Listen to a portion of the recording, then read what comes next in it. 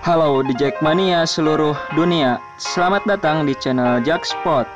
Channel ini berisi tentang update terbaru berita seputar Persija. Sebelumnya, jangan lupa nge-like, share, komen, and subscribe agar tidak ketinggalan update terbaru seputar Persija Jakarta.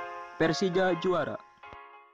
Persija Jakarta bisa melirik sosok bomber 20 miliar dari Brasil apabila membutuhkan pemain asing baru di lini serang. Lantas bagaimana kiprah Persija? Di awal musim ini Persija Jakarta terseok-seok dengan performa inkonsistensi.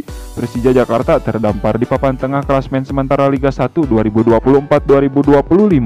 Klub berjuluk Macan Kemayoran itu berada di posisi ke-8 klasmen sementara dengan raihan 9 poin dari 7 pertandingan. Hal tersebut tak terlepas dari Persija Jakarta yang masih memiliki satu titik lemah yang berdampak pada produktivitas gol ini depan di mana lini depan Persija Jakarta tampil labil.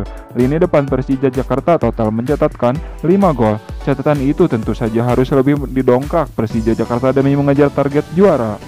Satu opsi menarik hati yang bisa dimanfaatkan keduanya yakni mendatangkan tambahan amunisi mesin gol baru di paruh musim dan satu opsi yang bisa dipertimbangkan datang dari pemain grade Serie A Brasil bernama Gleison Yago Souza Lisboa atau akrab disapa Pikachu. Lantas apa sebabnya? Menilik performa Pikachu beberapa musim terakhir layak bagi Persija Jakarta dan Persebaya Surabaya juga berminat.